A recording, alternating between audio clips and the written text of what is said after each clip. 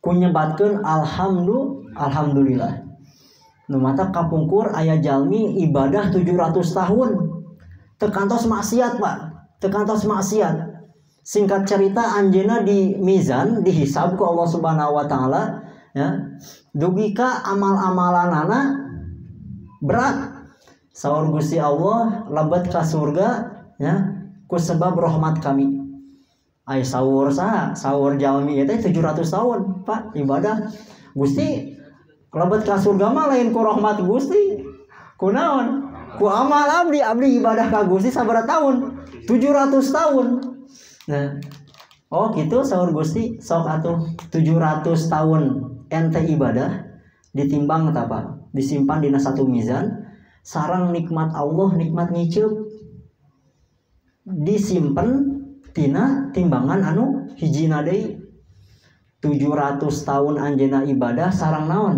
Nikmat ngiceup pungkul ngiceup pungkul Pak. Ditimbang ternyata lebih berat naon? Nikmat ngiceup saur Allah Subhanahu wa taala tinggal. Ya. Nikmat kicep ge teu bisa disyukuran teu bisa dibandingkan ku 700 tahun ibadah. Ayeuna 700 tahun ente hirup saur Allah Subhanahu wa taala sabaraha nikmatku kami bere. Sakicep ge teu bisa disyukuran ku 700 tahun ibadah. Karena raka seorang subhanahu wa ta'ala. Akhirnya la yarau ana adhul jannah bi rahmatik. Abi dapat ka surga ku naon? Ku rahmat ku rahmat Gusti. Nah apa lamun orang syukuran? Syukuran orang ku nyebatkeun naon? Alhamdulillah eta teh bisa minuhan amal timbangan orang fil mizan di akhirat sakali saur kanjeng Rasul alhamdulillah tamlaul mi tamlaul mizan. Alhamdulillah teh minuhan kana kana mizan kana amal karena timbangan orang. Wa subhanallah walhamdulillah upami orang nyebatkan subhan zikir subhanallah walhamdulillah upami zikir iya tiasa dijisimkan dijisimkan teh dijirimkan dibentukan eta teh tamlau ma baina samawati wal ard minuhan langit jeung bumi pahalana Pak subhanallah walham walhamdulillah. Nu orang namanya maca roti bahadat sabar kali orang tasbih sabar kali orang syukuran ke Allah Subhanahu wa taala. Telamun dijisimkeun mah pahalana alhamdulillah sareng subhanallah teh bisa minuhan langit jeung langit jeung bumi. Wassalatu mana ini? Oh iya ya. Wassalatu nurun ya. Sareng salat teh nur cahaya cahaya di mana? Mungkin dina sabada urang antunkeun. Nah, dina hiji ieu dina hiji riwayat tinggal man hafazo ala sholat jalmi anu ngajaga karena sholatna ya kanat lahu nurun sholatnya bakal jadi cahaya. Ya. wa burhanan sarang pituduh wa najatan sarang penyelamat yaumal kiamah dina hari kiamat.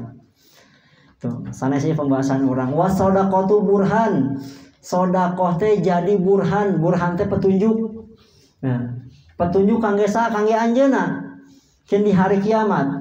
Nah, tatkala ku Allah Subhanahu wa taala taros nya kamanakeun harta nuku kami titipkeun ka anjeun. Saur anjeuna teh tasaddaqtu bihi ya Rob, aku menjadikan harta yang kau titipkan ini sebagai nah, sebagai sedekah. Itu. Ta ieu anjeuna pembahasan wasabru diaun sabar teh menjadi penerang. Itu menjadi menjadi penerang. Penerang tenan penerang hati orang ya. Dina asal sempit lamun orang sabar sabar sabar ku Allah bakal dijantankan cahaya hati orang teh. Allah subhanahu wa ta'ala. Wal qur'anu hujah jasas lamitinya teh ya Quran teh bisa jadi hujah lah atau alaiknya. Bisa hujah anu manfaat kangge orang bisa hujah ka anu alaik alaik teh anu ngabahayakeun orang kumaha?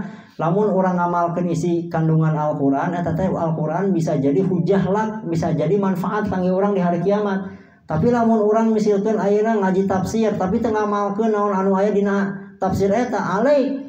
Ya jadi tuntutan di hari di hari kiamat gitu Nah, kullu nasi yagdu saur kanjeng Rasul, kullu nasi yagdu setiap manusia teh yagdu dina pagi hari teh yagdu anjeuna beramal kan?